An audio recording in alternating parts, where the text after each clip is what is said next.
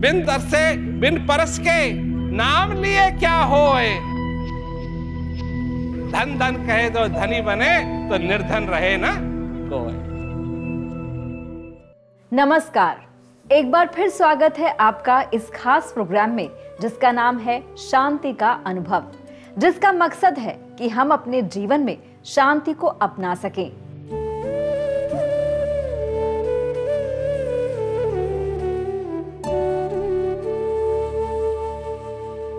शांति का अनुभव के इस सफ़र में हमारे मार्गदर्शक हैं प्रेम रावत जी, जिनसे हमने अभी तक ये जाना कि शांति क्या है और हमारी ज़िंदगी में इसकी क्या ज़रूरत है। आज के इस सफ़र में हम जानेंगे कि शांति सिर्फ़ एक शब्द नहीं है। शांति सिर्फ़ चर्चाएँ करने, भाषण देने और गुणगान करने की चीज़ नहीं है। सबसे ज़रूरी बात यह है कि शांति हमको जीते जी महसूस होनी चाहिए। बिन देखे, परखे बिना। नाम लेत क्या होई? धन धन कहे, धनी बने तो निर्धन होए न कोई।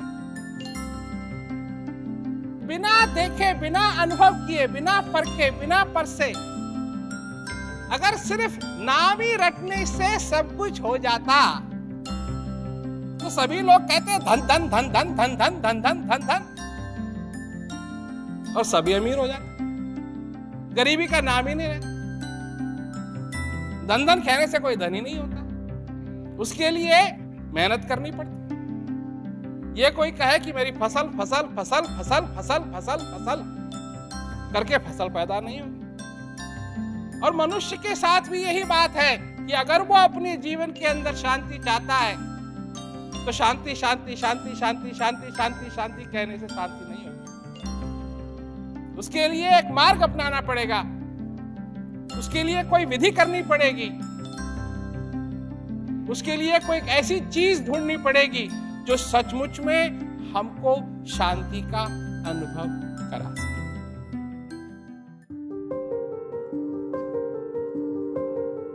तो जो स्पेशल चीज़ हमारे अंदर है उसको हम कैसे जान पा सकते हैं? नहीं ये आपने बहुत अच्छी बात कही। क्योंकि ये मूल में बहुत समस्या है लोगों के साथ हम्म। अगर लोग ये भी जान जाएँ या सुन लें कि भाई जिस चीज़ की तुमको तलाश है वो तुम्हारे अंदर है शांति तुम्हारे अंदर है हम्म। जिस भगवान की तुमको तलाश है वो तुम्हारे अंदर है हम्म। जिस शक्ति की तुमको तलाश है वो तुम्हारे अंदर है। परंतु फिर भी वो उस तक पहुँचने में नासफल रहते हैं क्यों क्योंकि बाहर इतना उनको अट्रैक्शन है मेरे को ये बनना है मेरे को ये करना है मेरे को ये करना है मेरे को ये करना है। अब बात है कि मैं एक बात कहता हूँ कि दो दीवारें हैं। हम्म, हम्म, एक दीवार से आप अंदर आए। हम्म। और एक दिन आपको दूसरी दीवार तक जाना है। और जब दूसरी दीवार पर पहुँचेंगे आप तो आप गए। फिर वापस नहीं आएँगे। फिर वापस नहीं आएँगे। हाँ। तो इन दो दीवारों के बीच में सारा शो है। आपका शो है। आपकी ज़िंदगी है। आप क्या कर रहे हैं? आप कर क्या रहे हम्म। मैं रेडियो जॉकी आप रेडियो जॉकी नहीं हैं, हाँ। आप मनुष्य हैं। हाँ। ये आपकी ज़िंदगी है। आप सांस लेते हैं। हाँ। आप देखते हैं। आपके एम्बिशंस हैं आपकी होप है। हम्म, आप अगर आपको कोई ऑफ़र करे जिस पोजीशन में आप बड़े रेडियो जॉकी बन सकें ताकि आपकी तनख्वाह भी और मिले। हम्म, और आप आपको पसंद है रेडियो जाकी होना हम्म, तो आप उसको प्रेफर करेंगे। बिल्कुल। और अगर कोई आपको कहे कि नहीं आप तो बहुत ही काबिल आप काबिलियत हैं और आपको प्रोड्यूसर होना चाहिए। हम्म, मैं उसकी बात पे तो नहीं जाऊँगा। मैं अंदर का देखूँगा मुझको कहाँ संतुष्टि और कहाँ सुख मिलता है। परंतु वो जो सुख और शांति की बात आप कर रहे हैं जो सुख की हम्म। बात कर रहे हैं वो कह रहा है। कि आपको मैं चार गुना तनख्वाह दूँगा। ट्राई कर लो। पता नहीं उस परिस्थिति में मेरा क्या होगा। क्वेश्चन हो गया ना? जी जी जी जी। तो यही बात है हाँ। क्योंकि हम सोचते हैं कि तरक्की की सीढ़ी वही है। ओके। तरक्की की सीढ़ी वही है। हम्म, परंतु ये कहाँ से फॉर्मूला आया? ये हमने शायद लोगों में ही देखा आसपास। बिल्कुल ये दुनिया से सीखा है। हम्म, और ये सीखा हुआ है ये आपका निजी नहीं है। हाँ ये सब स्क्रिप्टेड है पहले से। सब स्क्रिप्टेड हाँ, और इसी के बस में हज़ारों साल पहले भी लोग थे। हम्म बिल्कुल। और उस समय वो टेक्नोलॉजीज़ नहीं थी। आज हम टेक्नोलॉजिकल वर्ल्ड में रहते हैं फिर भी उसी चीज़ में फंसे हुए हैं। बिल्कुल सही कहा आपने। फिर भी उसी वही स्क्रिप्ट हम्म, पढ़ रहा हूँ। हम्म, कई बार मैं कहता हूँ लोगों से कि जो आपकी समस्याएँ हैं वो पहले किसी और को परेशान करती थी। है वही। है वही। और अब आपको परेशान कर रही हैं और आपके बाद फिर किसी और, और के पीछे परेशान कर हाँ बिल्कुल और किसी और के पीछे पड़ेंगी। बिल्कुल ठीक। तो जो ये स्क्रिप्ट है हम्म। किसी ने कभी बैठ के ये सोचा या देखा कि ये उस एक चीज़ जिसे कहते हैं असली संतुष्टि असली सक्सेस क्योंकि आजकल के लोग संतुष्टि कम समझते हैं सक्सेस ज़्यादा समझते हैं। हाँ बिल्कुल ठीक कहा क्योंकि सक्सेस के पीछे पैसा है। हाँ सक्सेस के पीछे पैसा है सक्सेस के पीछे Famous, फेम है हाँ। सक्सेस के पीछे वो सारी। चीज़ें हैं जो मनुष्य को लुभाती हैं। लुभाती हैं यही है अट्रैक्शन मनुष्य के लिए। हम्म।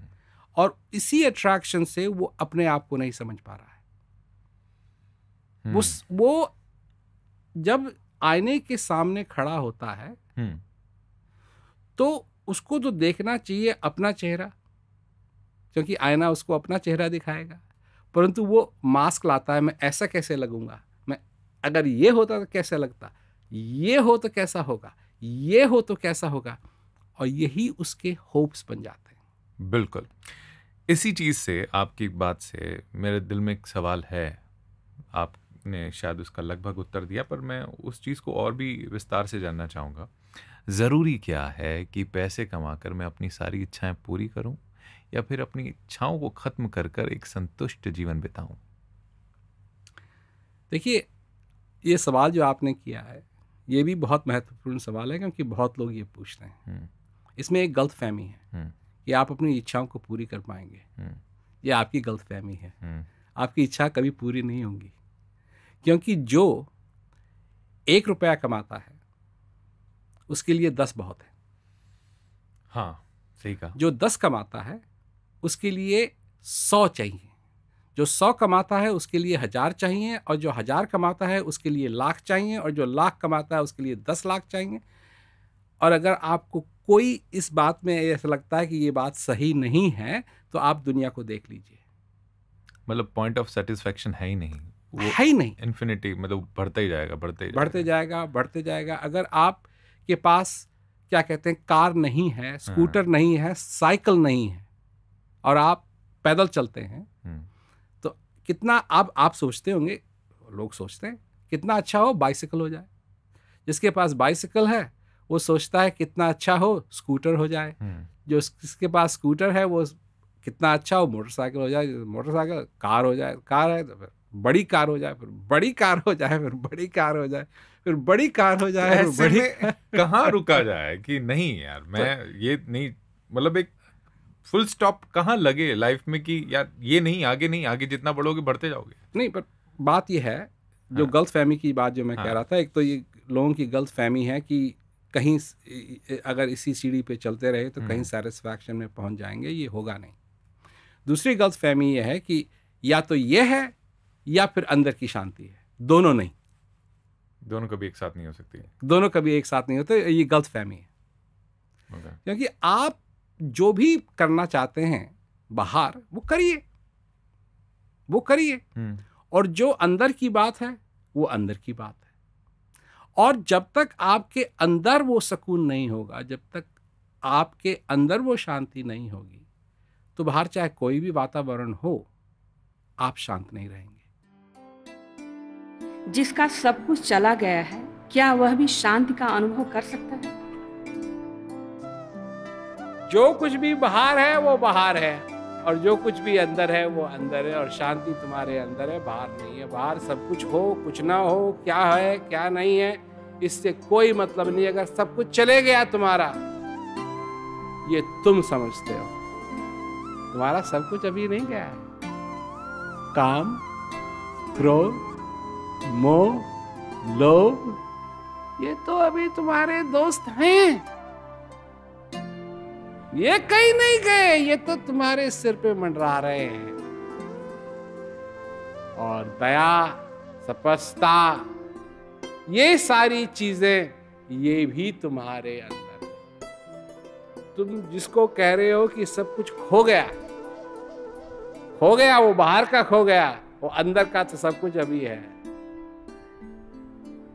अपने अंदर उन चीज़ों को प्रोत्साहन दो जो अच्छी चीज़ें जो सुंदर चीज़ें हैं, जिनसे आनंद मिलेगा, हृदय को आनंद तो शांति का अनुभव तो हर एक व्यक्ति कर सकता है, हर एक व्यक्ति कर सकता है, चाहे किसी भी परिस्थिति में क्यों ना हो, चाहे वो राजा हो, चाहे वो रंग क्योंकि राजा पने में शांति नहीं है रंग पने में शांति नहीं। शांति है तो अंदर, और जब तक ये श्वास तुम्हारे अंदर आ रहा है और जा रहा है, तब तक तुम इस शांति का अनुभव कर सकते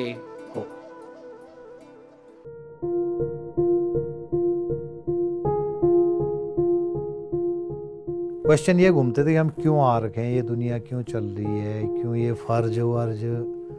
या ये जो सुख दुख आदमी की दौड़ क्यों है? ये सब, है ना? चाहिए, चुहिए, जो भी होता है, ये जो इच्छाएँ हैं तो आखिर क्या साबित करना चाहता? है कौन है इसके पीछे? ये एक बहुत बड़ा वो था। तो अशांत होता था माइंड। जब बोला, शांति संदेश, प्रेम रावत जी का शांति का संदेश मैंने कहा, भाई, ये तो सुनना पड़ेगा, देखना पड़ेगा, क्या है?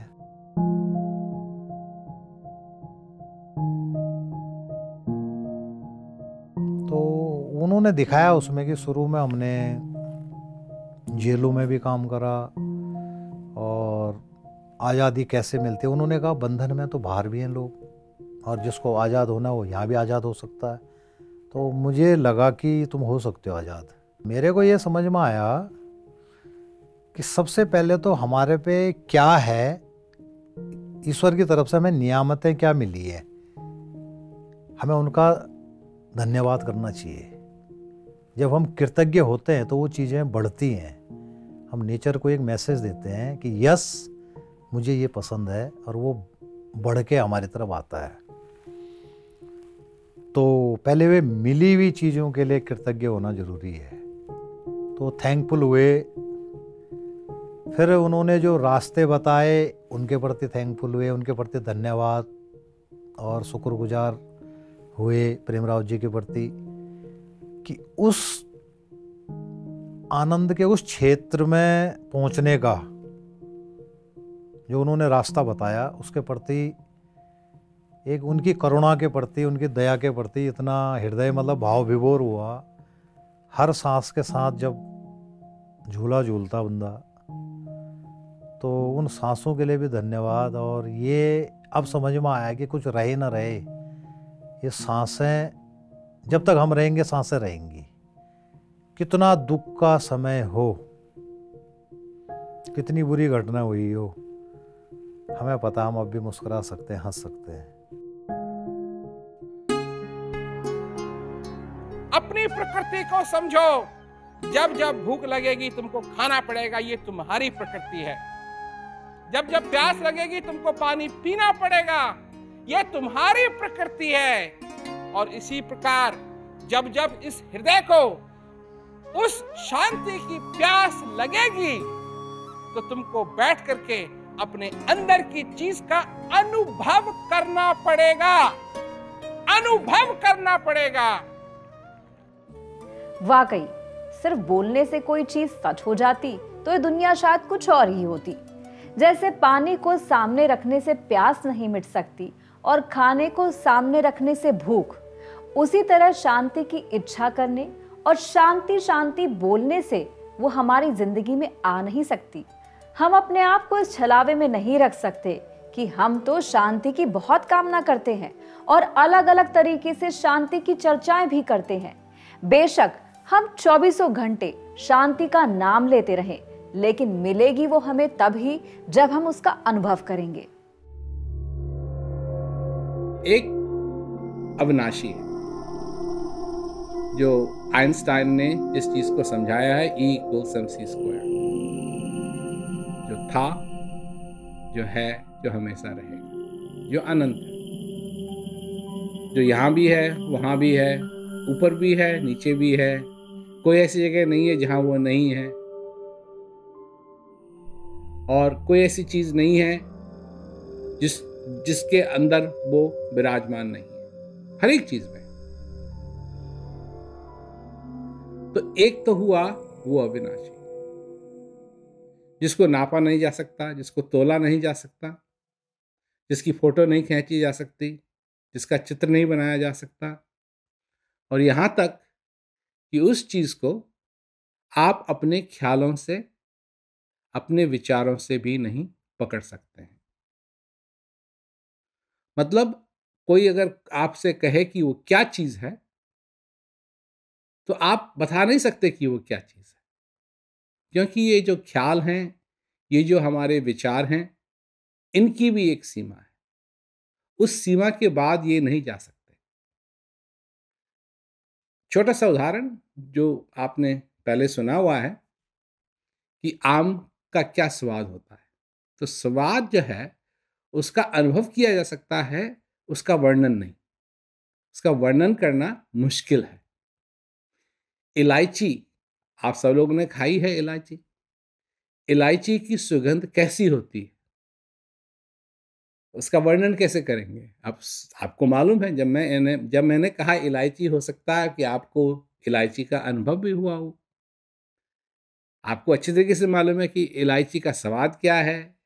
और अगर कम से कम स्वाद नहीं मालूम तो आपको उसकी जो खुशबू है, वो कैसी है, आपको मालूम है अच्छे तरीके से। पर उसका वर्णन नहीं कर सकते। ठीक इसी प्रकार एक अनंत है, अविनाशी है। था, है, रहेगा। उसी से सब कुछ आया है, उसी में सब कुछ समाप्त होता है।